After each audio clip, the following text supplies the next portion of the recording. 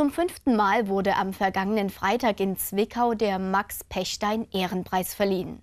Nach Alfred Rittlichka, Lothar Günther Buchheim, Arno Rink und Klaus Steck entschied sich der Kunstverein diesmal für den Leipziger Maler Hartwig Ebersbach und vergab die Auszeichnung damit erstmals an einen gebürtigen Zwickauer. Bereits 2015 richteten die Kunstsammlungen eine Retrospektive anlässlich des 75. Geburtstages von Hartwig Ebersbach aus. Zwei Jahre später trägt die Ausstellung des 77-jährigen Preisträgers den vieldeutigen Titel Time. Großer Bahnhof am vergangenen Freitag in den Kunstsammlungen, Schrägstrich Max Pechstein Museum. Das Who is Who der Leipziger Kunstszene war an diesem Abend nach Zwickau gekommen, um einem großen Künstler und bedeutenden Wegbereiter des modernen Expressionismus seine Aufwartung zu machen. Neo Rauch war ebenso unter den Ehrengästen wie Christine Rink, Witwe des Pechstein-Ehrenpreisträgers von 2005, Arno Rink. Die Laudatio übernahm Hans-Werner Schmidt, ehemaliger Direktor des Museums der Bildenden Künste in der Messestadt. Dessen Einladung bildete sozusagen das Bindeglied zwischen Leipzig und Zwickau, wo Hartwig Ebersbach am 17. Mai 1940 das Licht der Welt erblickte und wo er unter Anleitung der großen Tatjana Lietz die Malerei für sich entdeckte. Dass er dafür von seiner Geburtsstadt jetzt den Max Pechstein Ehrenpreis bekam, war auch für den Künstler eine große Ehre. Das ist mein erster Preis im, im Osten. Ich habe nur Westpreise gehabt bisher und in China gibt es ein Denkmal, aber im Osten habe ich nie die Berücksichtigung gefunden. Ich war auch auf der großen Dresdner DDR-Kunstausstellung nie vertreten, außer der letzten, da habe ich nicht eingereicht und trotzdem haben, hat man sich was organisiert, also gegen meinen Willen. Und jetzt, äh, jetzt bin ich präsent und, äh, und äh, finde eine Anerkennung, die ich erhofft, aber nicht erwartet habe.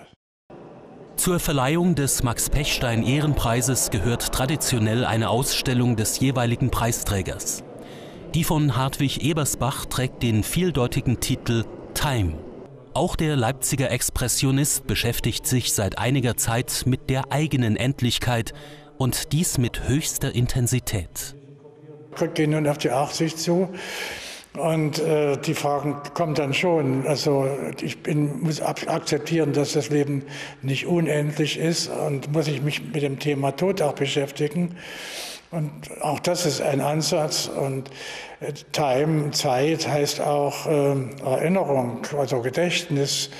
Und äh, da bin ich glücklich dran, weil ich über Träume ein für mich genetisches Gedächtnis entdeckt habe. Also ich träume nicht nur meine Welt, sondern auch die Welt die mir mitgegeben worden ist über meine Vorfahren. Und das sind alles künstlerische Themen, die man auch in, Ausstell in der Ausstellung sehen kann. Ich bin mythisch strukturiert, das kann man auch an den mythischen Bildern sehen. Und insofern ist Time äh, mehrfach besetzt. Inspiriert hat ihn auch das Alterswerk des Malers Oskar Kokoschka. Time, Gentlemen, Please so läutet der Wirt im englischen Pub die letzte Runde ein. Diesen sarkastischen Titel gab der 85-Jährige dem letzten seiner späten Selbstbildnisse. Ebersbach hat den Stoff neu interpretiert und gleich einer ganzen Serie von Bildnissen diesen Titel gegeben, gleichsam namensgebend wie richtungsweisend für die Zwickauer Ausstellung. Seine große Verehrung für Max Pechstein, der für Ebersbach ein Säulenheiliger ist, wird ebenfalls berücksichtigt. Ein Säulenheiliger ist eine, ein anbetungswürdiger und äh, das ist für mich auch Pechstein und gerade auch er aus Zwickau kommt und ich auch und also da sind wir so nahe gerückt plötzlich und die Verehrung ist natürlich riesengroß. Allerdings muss ich ihn auch äh, äh, überwinden. Ich, bin, ich darf, darf ihn nicht kopieren, nicht nachahmen und nicht in seinen Fußstapfen laufen. Also ich muss einen eigenen Weg finden und in der Überwindung des großen Meisters. Und deshalb gibt es hier da auch Anspielungen auf dieses Thema.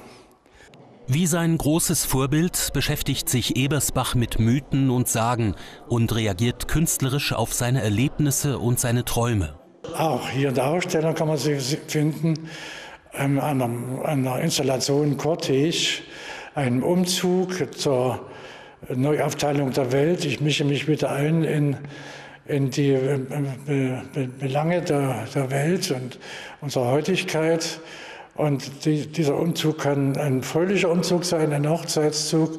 Es kann aber auch ein Leichenzug bedeuten. Und, und das hat aber einen anderen, äh, tief, tieferen Hintergrund weil die Neuaufteilung der Welt unter Chinesen, Indern und Arabern auf uns zukommt. Und wir müssen aufpassen, wo wir bleiben, damit wir nicht nur ein Museum der Welt werden mit unserer alten Kultur. Kasperköpfe, Engel und Teufel bestimmen nach wie vor Ebersbach Figurentheater, scheinen neuerdings auch den Tod in ihr Programm aufgenommen zu haben. Ich habe schon oft aufgehört, also aufhören wollen und äh, habe meine große Oper eigentlich zusammen. Die Lebensfragen äh, habe ich gedacht, ich hätte keine mehr. Und, und dann kommen dann solche Gelegenheiten wie solche Ausstellungen. Und dann entdecke ich mich immer wieder neu. Also das geht, das überrascht mich und die Neugierde treibt mich weiter. Wilde, expressive Farbschlachten wurden schon früh zu Ebersbachs Markenzeichen. Mittlerweile gehört sein Werk zu den wichtigsten und eigenständigsten Positionen innerhalb der deutschen Malerei. Überregional und international bekannt wurde er vor allem durch seine Kasperbilder, die von unbändiger Fabulierlust und Experimentierfreude geprägt sind. Dass nicht jeder damit etwas anfangen kann, ist dem Maler bewusst. Da kann ich allerdings keine Rücksicht drauf nehmen. Meine Arbeit bezieht sich auf meine Selbstauseinandersetzung. Mein gesteigertes Ich äh, verlangt das, den, diesen Selbstausdruck. Und äh, es gibt aber auch Zugänge, besonders bei Kindern, die haben einen Spaß und ein Verständnis dafür. Oder bei Chinesen und Arabern, das ist ganz eigenartig. Die verstehen, die können meine Bilder lesen. Äh, aber es ist richtig, es gibt viele, die das auch abstößt, habe ich auch schon erlebt. Und äh, damit muss ich leben. Dass es mehr Liebhaber als Kritiker seiner expressiven Materialschlachten gibt, beweisen seit 1989 Einzelausstellungen auf der ganzen Welt. Wie beliebt der Künstler nach wie vor in seiner Geburtsstadt ist, zeigte der proppevolle Gemäldesaal zur Preisverleihung letzten Freitag. Oberbürgermeisterin Findeis nahm die Auszeichnung vor.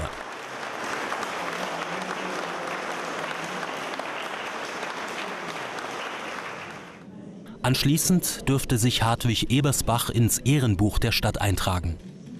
Dankesworte richtete der Preisträger danach vor allem an seine Frau und Muse, ohne die seine Bilder undenkbar wären, ja sogar völlig anders aussehen würden. Welchen Einfluss Monika Ebersbach auf das Alterswerk ihres Mannes genommen hat, können die Besucher der Zwickauer Kunstsammlungen bis zum 18. Februar 2018 überprüfen.